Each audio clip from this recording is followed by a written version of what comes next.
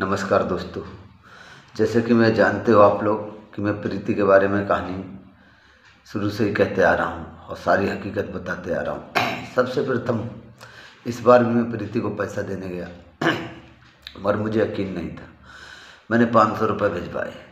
मैं जानता था प्रीति अपनी बातों के जाल में फंसा के पैसे ऐंठती है, मुझ पर हमला ही होते हैं। जैसे कि पहले हो चुके थे, मुझ पर जानलेवा हमला प्रीति के चक्कर में मैं कई बार आत्महत्या कर चुका। हूँ और जज बने हुए इसमें मकान मालिक ही हैं। तो वही घटना आज फिर भाई मेरे साथ मैंने प्रीति को अपने लड़के के हाथ से पाँच सौ रुपये भिजवा दिया। कृष्णा मेरे पास आता था। रूम तो अलग ले ही रखा था सबोली में। उस दिन नहीं आया तो मैं गया। सबसे पहले बोबी ने अपने लौंडे के हाथ तो और मियाँ बीवी ने सलाह रची कि सतवीर को कैसे मारना है तो ऊपर बुलाया। मतलब उस दिन नाकाम हो गए, वो बोला साक्षिया बुला रही है मेरी बेटी। मैं हड़बड़ा के पहुँचा शायद कुछ बताए मुझे। मगर नहीं, उसने बुलाया नहीं तो मैं मिल के चलाया तो वहाँ भी मुझसे कहा, बताओ, आज तुम्हें चोरी के इल्ज़ाम में फंसा दें। ये मियाँ बीबी की, बोबी के और उसकी बीबी के ये थे। बाद में कृष्णा नहीं आया, तब मैं बोबी के घर पे गया। वहाँ शादी से रची हुई थी हमारी बीवी की, हमारे बच्चों की, कि सतवीर को मारने की। मुझे चारों लोगों से घेरा गया, फिर चप्पल से बोबी की बीवी ने मारा, यानी हमारे बच्चों ने तो मारा ही। फिर वहीं पे एक लड़का है, सबोली गली नंबर दो और जाटब चौक पे जाटबी है।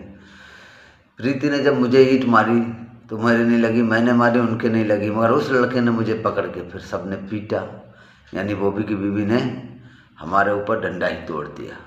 बहुत अच्छा फंटास्टिक काम किया था इस बार। अब ये दुश्मनी तो कभी ख़त्म होगी नहीं। अच्छा सबसे प्रथम, इसमें कुछ लड़के ने मेरे कृष्णा ने कुछ नाम बताए। बाकी तो यार तो मैं पहले ही ओपन कर चुका हूँ। एक नाम बताया है उनका यार, राहुल, अखिलेश, अवनीश।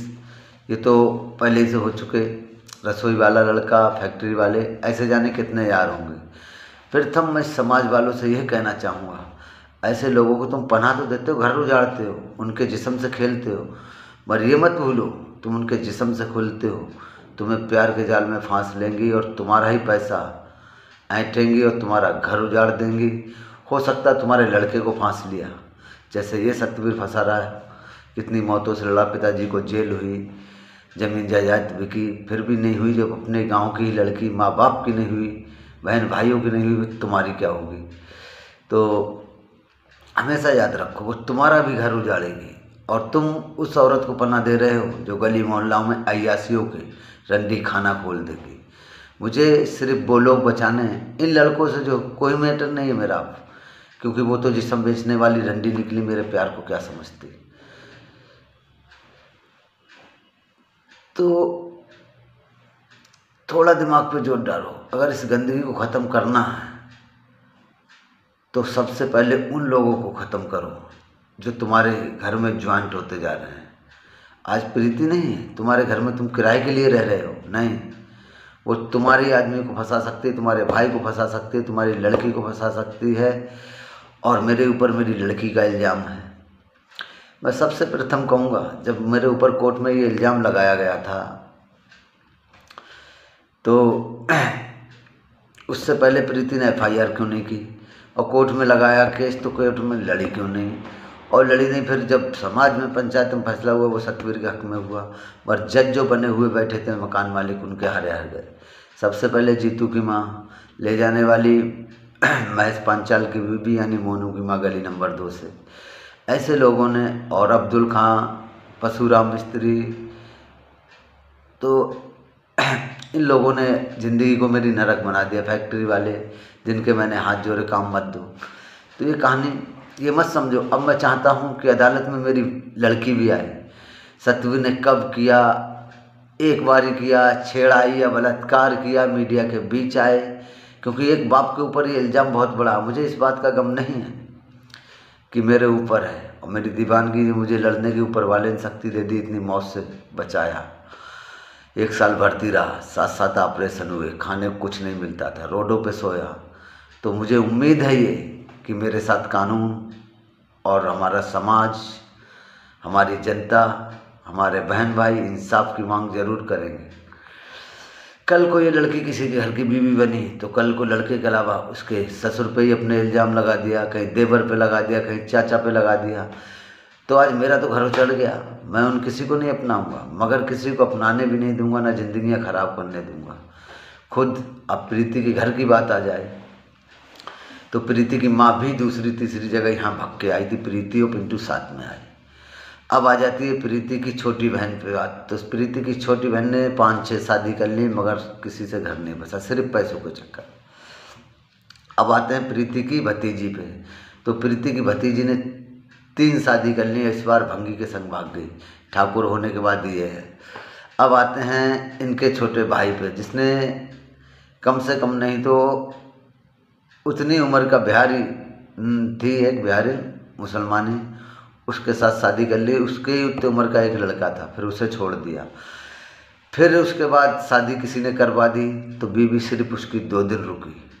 दो दिन रुकने के बाद सबको बेहोश करके भाग गई। मेरे बड़े साले ने जैसे तैसे शादी कर ली तो उसकी बीवी उसके ससुराल में मरती है, जिसकी लड़की भाग गई। तो उसे लाश भी नहीं मिलती, तेरे ही वो अपने गाँव में करते हैं। ये मेरी कहानी, बाकी सब ऐसे ही लड़ुआ मर गए। तो उस समाज में उनकी इज़्ज़त, उनके घर पे जुआ, शराब, ये तो प्रीति के यहाँ होता रहा। अगर उस समझ में ना समझ नहीं होता तो शायद मैं प्रीति के कहे में भागता भी नहीं। और जहाँ मेरे माँ बाप शादी कर रहे थे, मैं वहाँ शादियाँ कर लेता, तोड़ता नहीं। आज ये बुरे हाल नहीं होते। इसलिए आपसे मेरी सबसे विनती है सबोली वालों से, पहले इस चीज़ की पूरी जानकारी कर लें।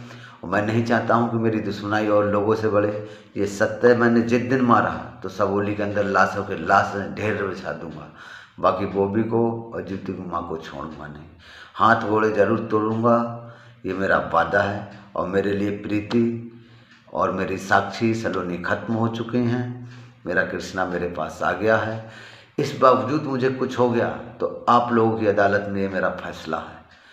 सारे मुलजिमों को उठना चाहिए, और मैं कहीं लावारिस मर नहीं सकता हूँ। यूट्यूब पे मेरी कहानी मिलेगी फेसबुक पे मिलेगी, मौज पे, जोश पे। इसलिए मेरा इंसाफ होना चाहिए एक दीवाने की। जो मेरे साथ हुई, वो घटना किसी के साथ नहीं घटना चाहिए। माताएँ बहनों से मेरी विनती है, किसी को भी कमरा दो, पहले उसकी छानबीन कर लो। आज एक औरत के चक्कर में कितने केस बढ़ता चला जा रहा है। इस सतवीर ने कई बार मौतें खाई हैं। उनके हाथों मार खाई, जब बच्चों के हाथों पिटाई है, इतनी बार खा चुका। सबसे प्रथम लड़कियाँ मेरी दो क्या दोनों के साथ मैंने रेप किया किया तो कब किया? किस समय किया? क्यों नहीं एफ़ आई आर हुई?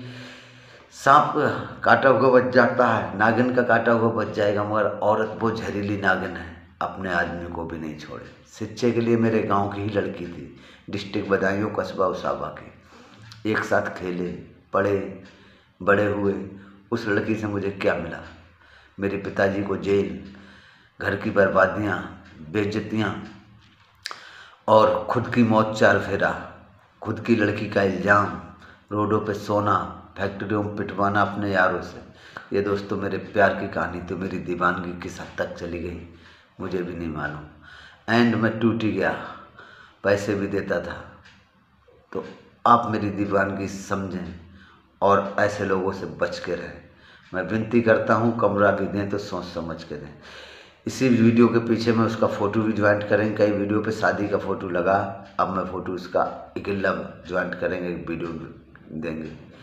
और उसकी बहन अनीता का, प्रीति का, उसकी भतीजी का भी फ़ोटो मैंने कई जगह पे ज्वाइंट किया। इसलिए सोच समझ के करें। जय हिंद, जय भारत। कहानी मेरी कई जगह पड़ी हुई है, जिस दिन ऐसा कुछ हो जाए मेरे साथ तो सारी वीडियो इकट्ठे करके मीडिया में डालना और लोगों तक ज़्यादा से ज़्यादा शेयर करना। वंदे मातरम, जय हिंद।